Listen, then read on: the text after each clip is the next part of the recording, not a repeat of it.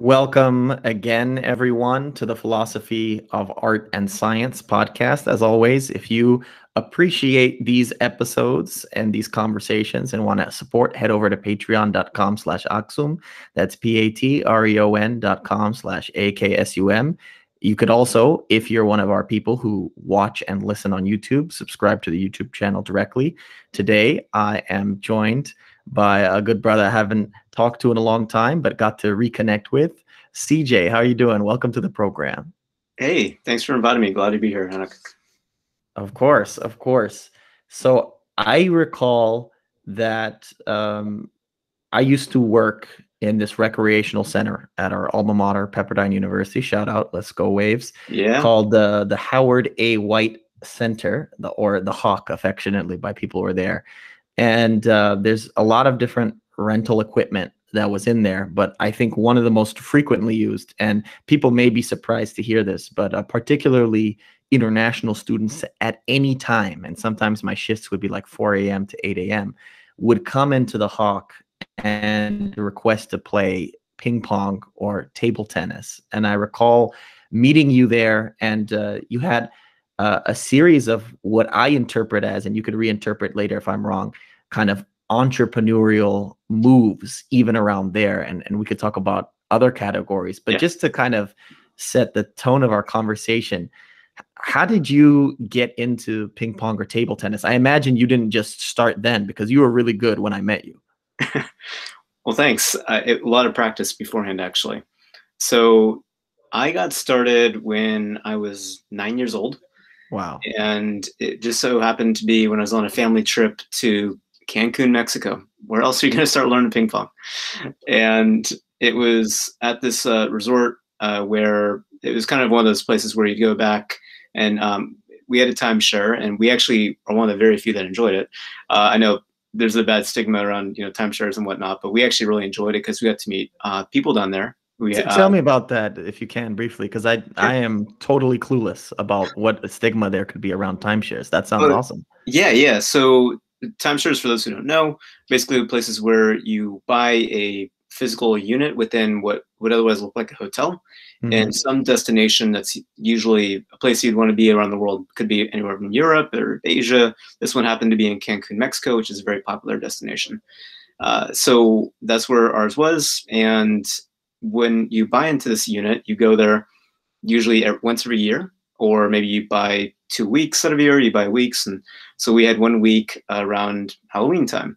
And we would always go down there during Halloween. So most of my Halloween celebrations were actually not in the United States, they were in Cancun. Wow. Yeah. And there was other people who also bought that same week that we got to know every single year. So it was like a reunion when we went back down there, and there were people from all over the United States and Canada, and we got to know them really well and one of those uh, almost you can call them family friends really because it was over many years. I actually kind of grew up down there and got to know him mm-hmm.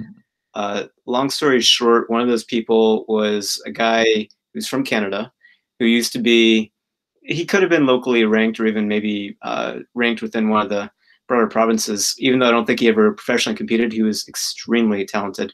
And at that time he was in this is you know about 20 years ago or so.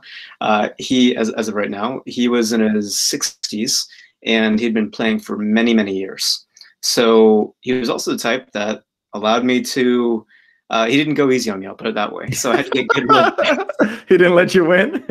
nope, nope. And so it was up to me uh, to, in, in a friendly environment, in the atmosphere that it was. It was a good combination and I've been a competitive spirit. I've had a competitive spirit from a very young age, so I already had it in me at nine years old to begin.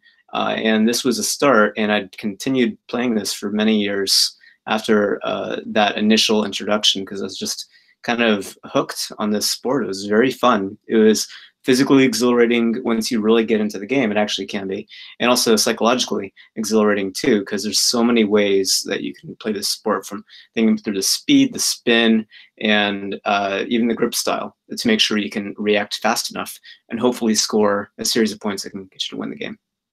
Yeah, that's a good point. I've seen a lot of people, and perhaps it's because they're adults. Maybe you were younger, or something about you in particularly helped you pick it up quicker. I don't know if it's the excellence of the coaching of this gentleman, but I've seen a lot of people as kind of a young adults to adults try to pick it up and they they think it's much easier than it is and it looks easy to them you know uh, like you said the way that they grip the paddle the way that it hits it, it it's so facile that you know sometimes i remember with competitive games would take people would take their shirt off or they would be profusely sweating and they're like what's wrong with you? Why are you sweating playing ping pong? And you you put that same kind of uh, naive critic in the in the position of of playing and they can barely get the ball over the net. So i'm I, am i am wondering when when this guy began coaching you at, at such a young age were you able to like have successful you know rallies R- rally for the for anyone who may not know is like you know the ability to get the ball onto the other side and back and forth at least more than once. Because i've seen a lot of people who will hit two rallies and be satisfied with that where i think any level of even like modicum competence has to be like 10 15 rallies. Yeah. So i couldn't really hold too many rallies with him initially yeah. Because he, his technique was he really didn't um, move his feet at all because wow. he could just and center himself so well so regardless of the side depth, uh, you know, close to the net or far away from it, kind of like you would see in tennis. Uh, obviously, tennis is a bigger court, so you'd have to move, but mm-hmm. he was uh, well positioned on the court. Um, in this case, being the court of uh, table tennis, that he could just react very swiftly.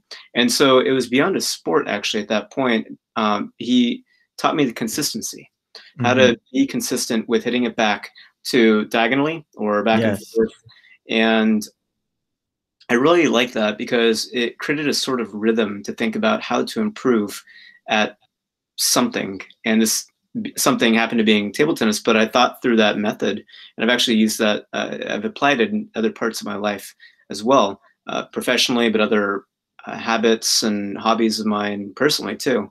And it's improved because the more consistent you do something, the better you get at it, especially if you're learning from the errors that you make along the way, because they will be inevitable. And if the errors are not uh, inevitable, then it means it's too easy of a task. And I recommend increasing really the you know the the goal uh, or at least the standard at which you hold yourself to achieve that task. Yeah, I I like that. It's uh, it's probably been overstated, but in a society that is increasingly handing out participation trophies to have a space in which you know an old guy could beat up on a young a young guy, but yeah. in like you said, a friendly, competitive manner that allows you to get progressively better to to make um, you know the Japanese say kaizen, continuous improvement over over time. Uh, I mean, it's, I mean, it's, it's like almost all the major martial arts. That's that's the goal every time is to just get a little bit better every day. And it seems to be so many like nuggets of life, uh, general life wisdom that that could be seen in there. But just while we're on this uh, this this point, I I started in high school and I was taught from scratch, like you, by a friend of mine who was on the tennis team, and so he played, you know, regular tennis first, and then also played table tennis.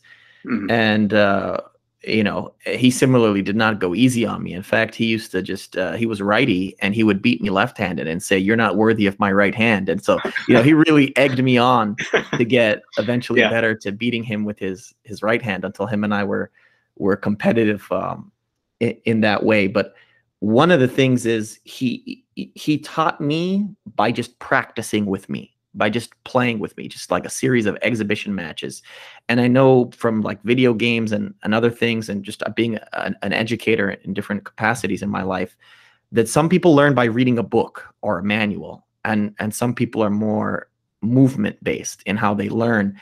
One of the things I remember, at least at the time that you and I had met and began playing, is it seemed like you had a better grasp than I did about some of the um, for example, technical terms. Like even even today, I think I know forehand and backhand, but when it comes to top spin, back and and some of these other things, side spin as well. Yeah, side spin. Thank you. I. I didn't know the names of any of these things. How did you get to know like that aspect? Were you just like Googling Wikipedia or did you ever see a book or were there other kind of mentor figures? Combination of all those actually. So before uh, we met at Pepperdine, I had done some somewhat competitive uh, table tennis beforehand, as well as mm-hmm. training at a center that is uh, here in Silicon Valley, where where I live. It's known as one of the top table tennis centers actually in the entire nation. Nice. And so I trained there for a few months and got to learn a lot. I've also searched online, just seeing videos and understanding terms and techniques, and that helped a lot as well, just so I could run through in my mind what I was doing, what I could do differently. And it is a sport. A lot of people treat it as a hobby, but mm-hmm. there, you know, you can, there's so many activities you can treat. If you treat them as sports, you will find ways to not only improve in the game, but improve yourself. Because to get better in the sport, you have to think differently and ideally think cooperatively, especially the higher up you go because even if it is a one-on-one sport, you're going to be cooperating with other people as uh, on a representative level, whether it be local, at state, or provincial, depending on where you're living in which country, or even at the national level, and hopefully eventually international too. But it starts with the fundamentals of making sure you get that consistency and improve from there.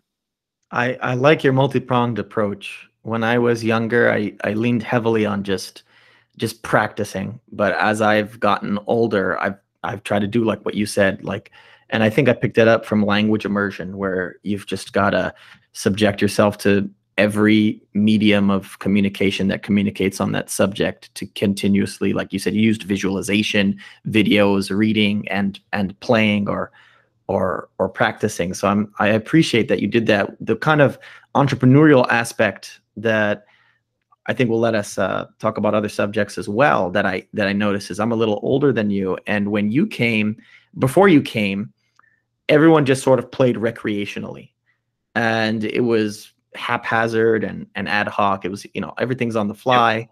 Uh, one of the big innovations you did is like you made it professional in terms of making it into a club. You created the table tennis club, mm-hmm. and then you use that as a launch pad to launch the first official tournaments. There have been unofficial tournaments where just a bunch of people play in a row, but you had like formal tournaments. And uh, a friend of mine actually uh, won at least one or two of those, and uh, I I did well, but I didn't win the whole thing. And uh, I, I would love if you could tell the audience about the idea behind kind of formalizing it into a club, and then the idea to making a, a, tournament out of it because I I think there's so many people who just are passive participants in whatever that may it may not be table tennis it may be something yeah. else but there's something that sets apart you know certain individuals as uh, as pioneers. And and I'm very curious as to you know what what prompted you to do the, those two things in particular. Yeah well it's been a drive. Like I mentioned I've been competitive I've had a competitive spirit for a long time. And when you really got it inside, like just something has to express itself eh, better and better and better, structure becomes a natural form of, of expression. Because to get better, you have to have some form of structure. And hopefully it's agile enough to work with you instead of against you, but having some foundational structure helps. That form of expression within a college or a university environment like this was a club. And that's how I viewed it. It was not just to start a club for the sake of it, it was to allow myself and hopefully others to get better as a result of that too. Mm-hmm.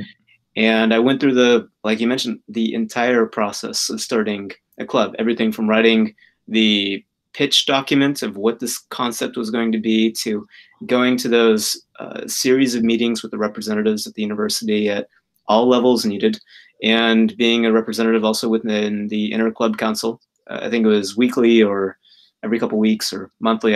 It's been too long now, but uh, it was fun because when I went to those meetings and I saw what other club members were doing and how they were promoting, and got ideas for how we could promote the Pepperdine Table Tennis Club as well, or we could cross promote with each other, or invite people to come along. And these gave me some really neat ideas to augment it that way.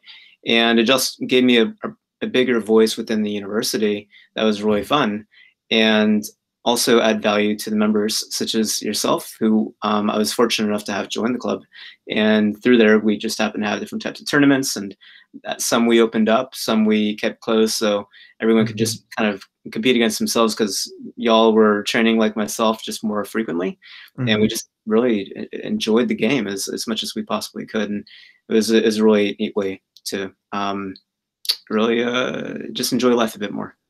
Yeah, I, I I love that you said that because some people are either intimidated by or you know, especially in their free time, not interested in structure but I have mm-hmm. seen in my in my own time in my own life, I've waned. I've had ups and downs of um, you know athleticism and other things. And if I had to point to one sort of word, whether you call it discipline or structure, that has been probably the determining factor of whether or not I'm in an up or down in my life. I like to think I'm in an up in my life in regards to, let's say, podcasting is just one feature. I'm about a year and a month into podcasting for for this podcast. I did do a, a kind of Bible oriented podcast a few years ago from uh, 2016 to 17, which was my first foray, which was audio only. Now I'm I'm in the video space in addition to to audio, and no question the difference there between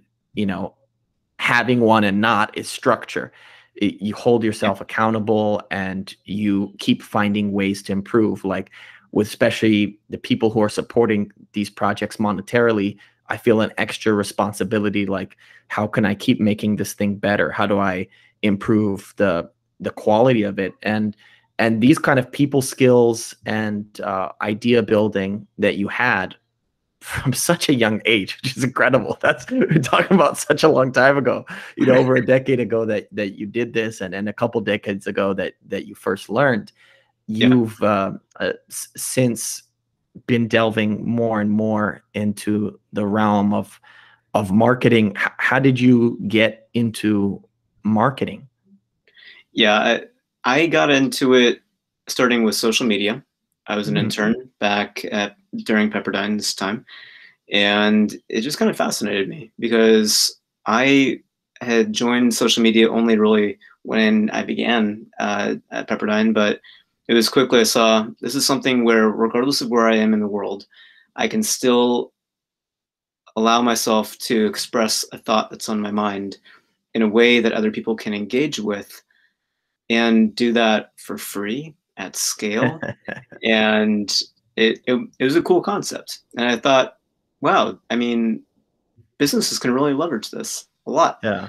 And I, I was fascinated by that. So when I was learning this on my own personal time, just sharing photos and posts and whatnot, when I had the internship as well, this coupled with me thinking just like there's so much potential.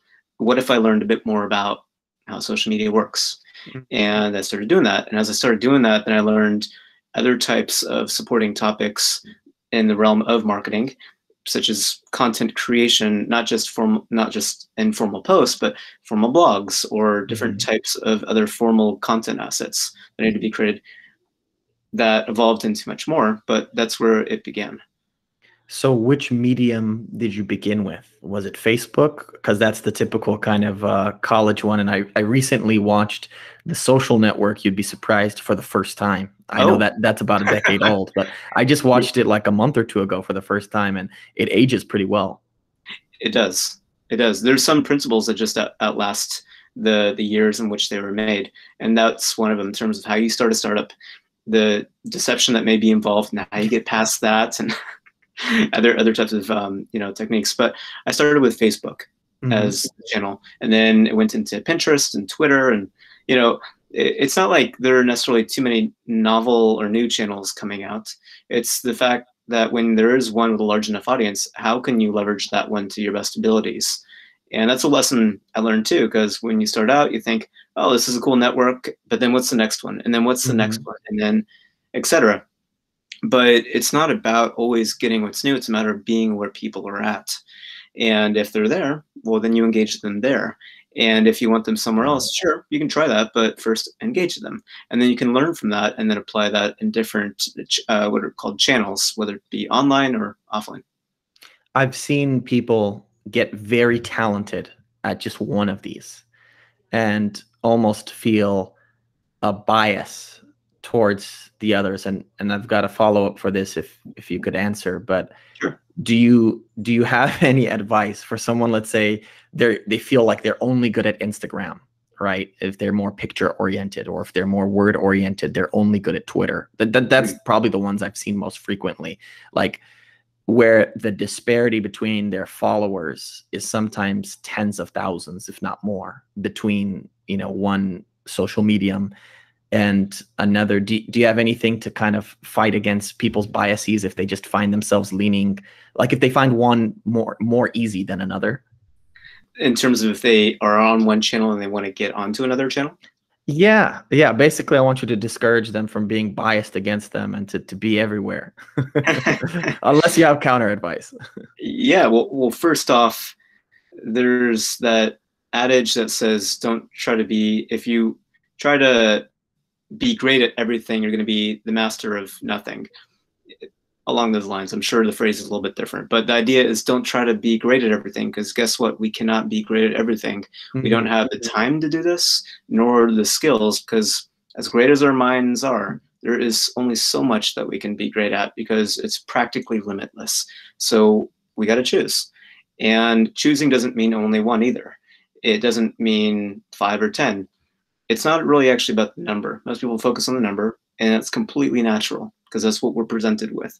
Mm-hmm. I do it reverse. So I think about literally the biology first of the people. Because end of the day, engagement is just a term that describes how we are biologically engaged. You know, dopamine, etc. And this starts with the two primary types of sensors. We have interoceptors inside and exteroceptors. Uh, oh my gosh, I'm blanking on the word of course right now, but interoceptors and exteroceptors. The second one might be a little bit different, but basically internal and external. So the common ones that we hear about are what people look at often, or what people listen to often, or what people, you know, um, may, if you're in the culinary sort of field, what they eat often, different mm-hmm. types of food or drinks depending on what you're marketing, right, there's going to be different types of engagement that you have. So if you're talking about food, well, it's probably not as big of a market as if you are uh, one that's allowing people to sample your food, or if there's different types of events like trade shows or whatnot that might be different in terms of reading or being more, much more visual with billboards, etc. So it depends on what you are promoting, and then where it is best to promote it based on the different types of senses that people naturally engage with it best. And if that happens to be one channel, great. If that happens to be three, even better. If you can hit a sweet spot of three to five because you're getting all these primary senses engaged, awesome. I like that. Yeah, I'm probably more three to five, uh, as you said. Uh, jack of all trades, master of none. There we go. uh, that's me. that's me. Than I said it. Uh, I feel like you're talking about me. No, uh, yeah, I, no, I, that's uh, it's something I've struggled with. Um, I've heard Russell Brand talk about it before, I think it's related to in psychology the big five personality traits, trait openness. I remember one time with my siblings, we took the test, and you take different tests, get different results. But at one point, I hit 100 on the trait openness. Wow. And uh, one of my sisters said, I don't think that's a good thing. And, um, I, you know, I don't think any of those personalities are in any way objectively better than one another, but it's good to know kind of where your tendencies and leanings are so that you can yeah. you know lean into them and then fight against them. So for me the structure that you talked about early on is a way of combating or um, you know mitigating the risk of being too open because yeah. I, um, you know down for almost anything people uh, propose to me. And i gotta uh, sit back reflect a little and and think about how useful or functional that's going to be to me. I, we talked about Cancun, Mexico, which is yeah. one oh, one place you've. Oh, jump in. Go ahead. Go ahead. This is important. Go ahead, please. There's no such thing as a good or bad personality. No such thing. We are who we are, and we can own that however we want to. And so, if you want to change it, go right ahead. If you want to live with it, go right ahead. Right? Nothing wrong either way. And what I can say is that all different personality types are needed in this world especially from what I've learned. Because if at one extreme we were basically all the same, we kind of did all the same sort of stuff. Well, this would be a very boring world mm-hmm. because there'd be practically nothing new. And if we were all all over the place all the time, like, well, then it'd just be way too much chaos because we wouldn't know what the heck's going on. And so this blending of personalities is really something that creates magic in a way, some stuff that occurs, but you're not necessarily sure how it occurs or why. And that's really cool. And maybe when you are looking at all these different types of opportunities all the time, sure, reflection can help because then we can make sense of it. But at the same time, you're likely really good at cross pollinating ideas where you see mm. ideas from one space and you can apply it to somewhere else. And that means you're naturally more creative than a lot of people, which is pretty useful in most all spaces that I found, especially in marketing, and which is the space that I focus in. So, you know, I, I would say if you're open to it, be proud of who you are and you know this types of personality uh, traits that you have. Thank you. It's very much appreciated. I've I've found myself almost in any space, usually you know whatever outsider, pariah, different somehow, and so I think that's allowed me to to because of necessity and a similar competitive spirit to you own and accept eh, this kind of comfort with difference that yeah. I've I've come across a lot of people who who don't have that, who have more the idea, you know, you cut down the tallest blade of grass, that everybody should be more of the same. And there's nothing more soul crushing than to me than being in a, an environment where everyone wants to impose, you know, 100%, whether it be ideological purity or, or, or that level of purity in yeah. any other category.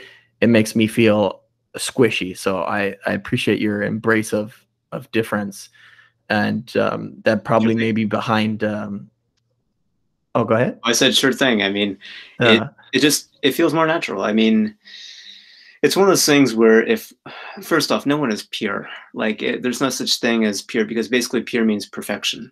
Uh, there's nothing, no issue with it, or it, it is absolute and unchanging. And I, I, would imagine if there is such a thing as purity or perfection, it does not exist here on earth.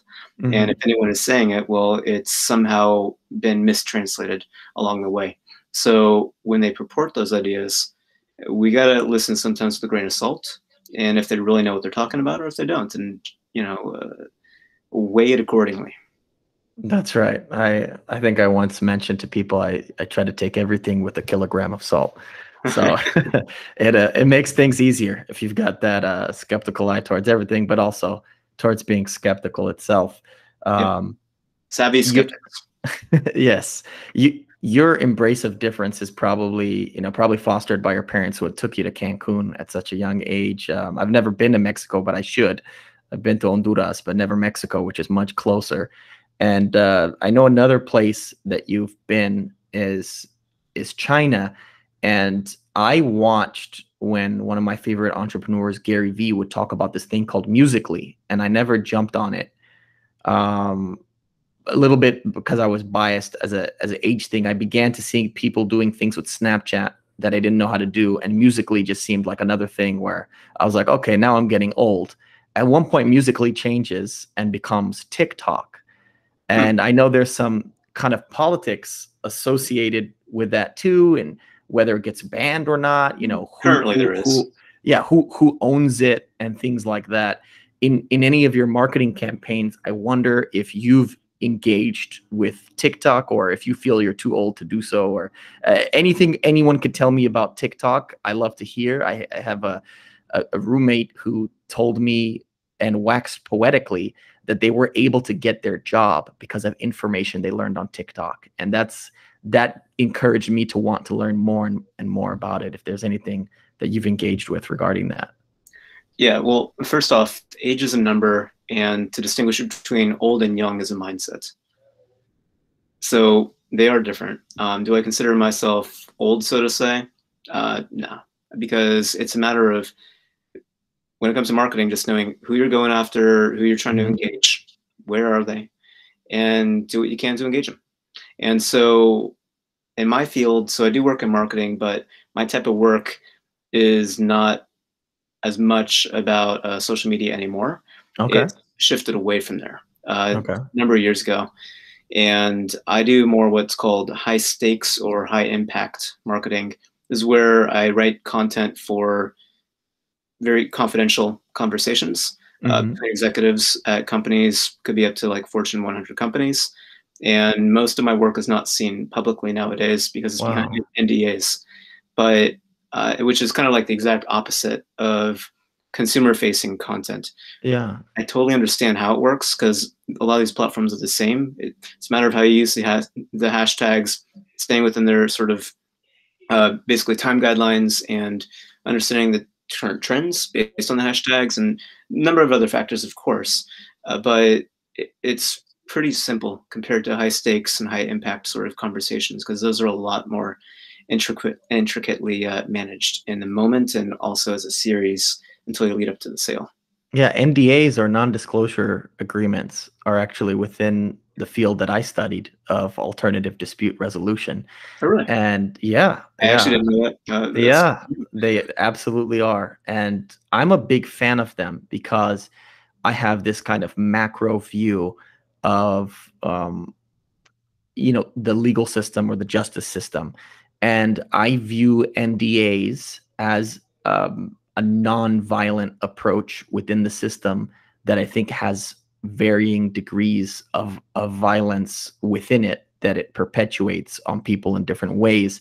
Hmm. Some of the bad rap I think that it's gotten is, for example, um, when it's regards to the Me Too movement, when there are certain accusations, and rather than going through the court system, sometimes people will get upwards of $10 million. I think one of the NDAs I saw uh, people talking about was like $35 million out of uh, Fox News, but you see it in, in multiple different places. P- putting that kind of aspect aside, to me, the more interesting question about these different forms of marketing that you've worked with is I know people who've worked at Kirkus, for example, reviewing books. And one of the things that they do that I, I thought was so strange is they don't allow their writers, uh, I don't know if this is still a policy, but at least a few years ago, this was true. They didn't allow them to have a portfolio to point to these things. They kept all the reviews anonymous. I'm wondering, how do you advertise your portfolio when you're dealing with matters that are, you know, so important that they have these NDAs associated with them?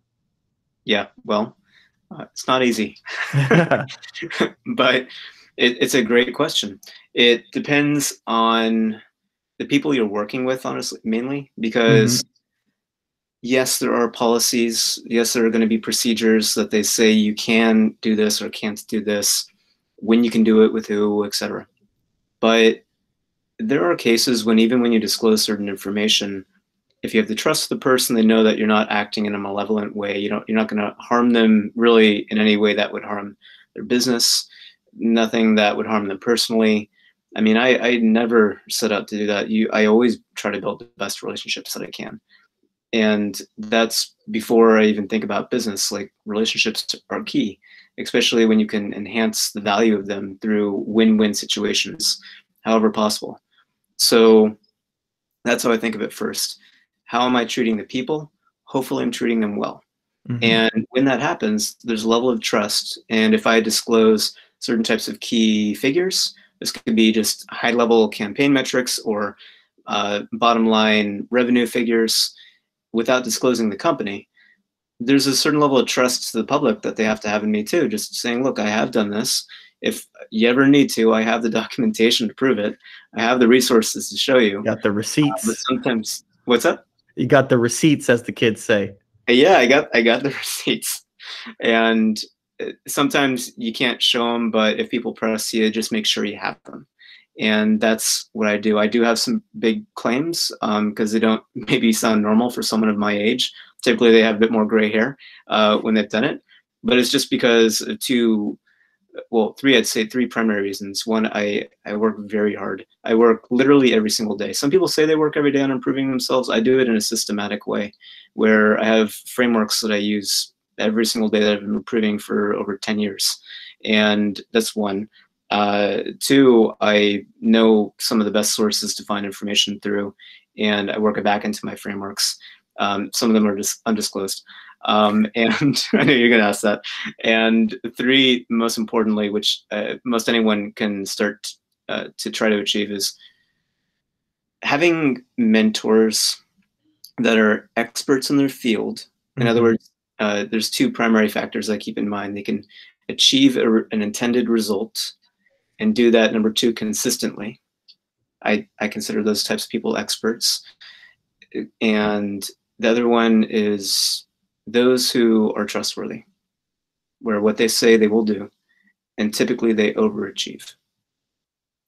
And I find a lot of those people. I've been very fortunate because I have the uh, work ethic that I do, because I hold myself a certain way within rooms.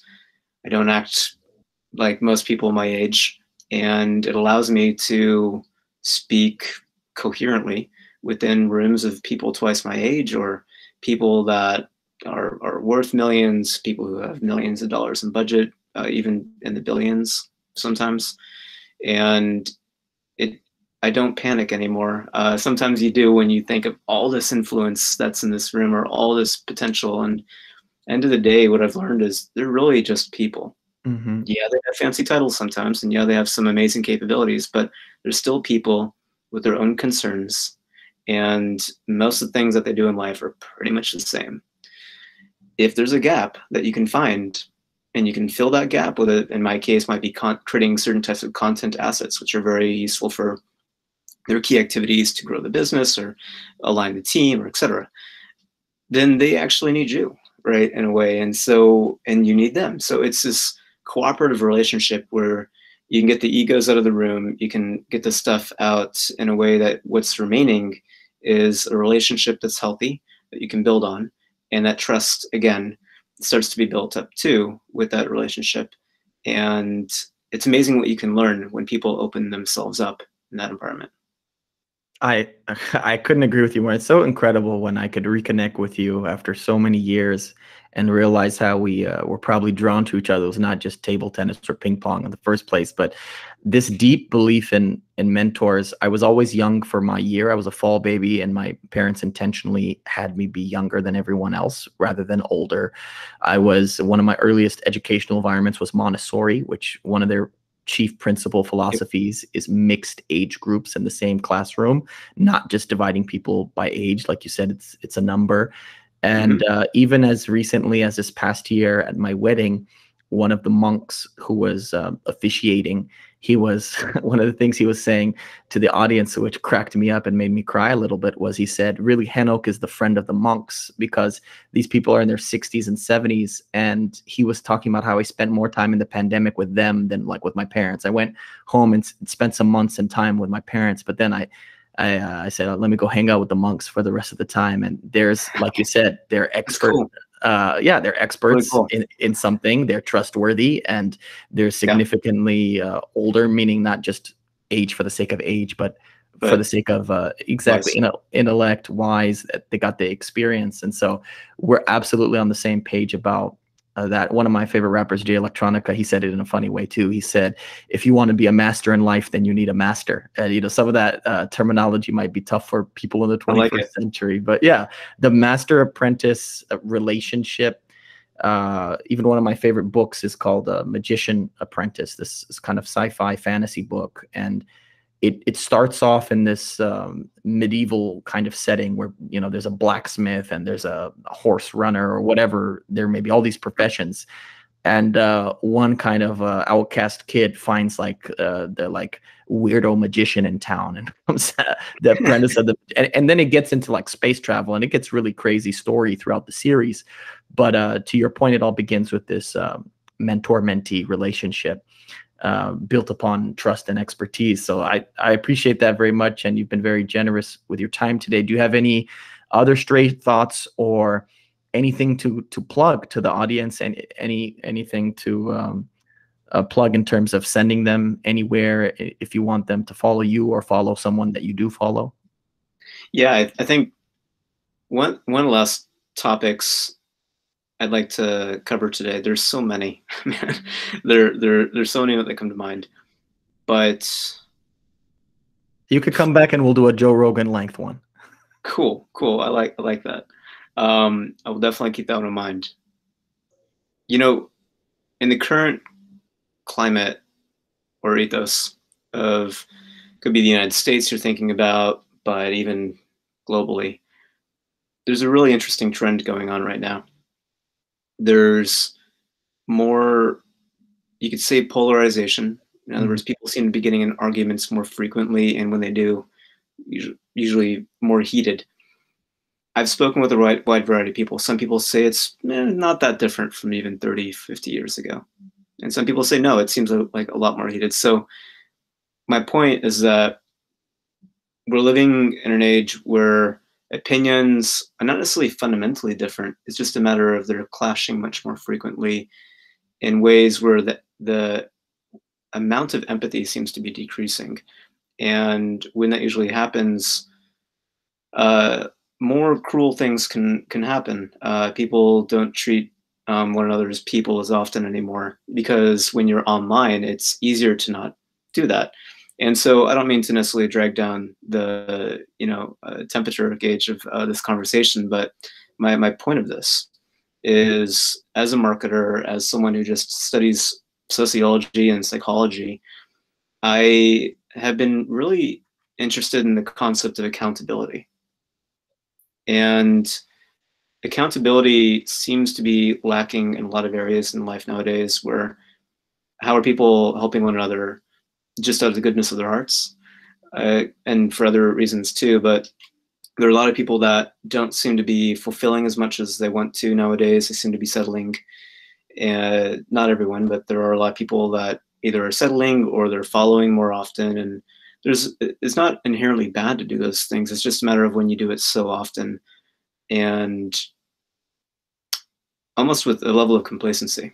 And uh, my as an entrepreneur as someone who you know you can call it a pioneer in some respects on a micro level so to say but in some others larger um, own who you are is like owning who you are is so important because when people do that, when we do that, we become happier as a result because we understand ourselves more. We understand what comes as a result of how we act with others. And we can just understand when life is so unclear, accountability, when we basically follow through the, what we say, or when we hold ourselves, you know, to what we uh, believe, we start to understand ourselves better. And when that happens, we can act more logically in life.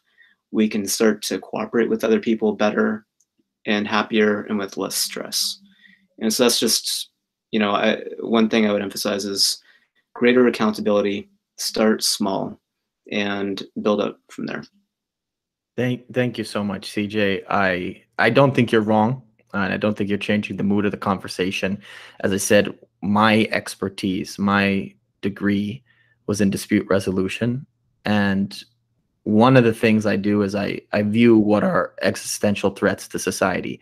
And so when people say this, when they ring an alarm, people think, oh, you're being alarmist. And it's not that I think there's a 100% likelihood of something like that. But if there's even a 5%, a 3 to 5% likelihood of, for example, in this country with the polarization you're talking about, and I'm not the mm-hmm. only one saying this, another civil war. The solution is not to just be alarmist. It's, I think, what you said, to begin with individual accountability and incremental growth or continuous learning that we've been talking about this this whole time. So thank you so much for saying that and for joining the program. Absolutely. And uh, if anyone wants to learn more, they're welcome to check it out my personal website. Um, I have different types of marketing tips on there, a bit more about me and possibly where I could help uh, some of these uh, listeners listeners out today and what their pursuits are. That would be my personal website at my first and last name, so cjterral.com. Um, Terral is spelled T E R R A L.com.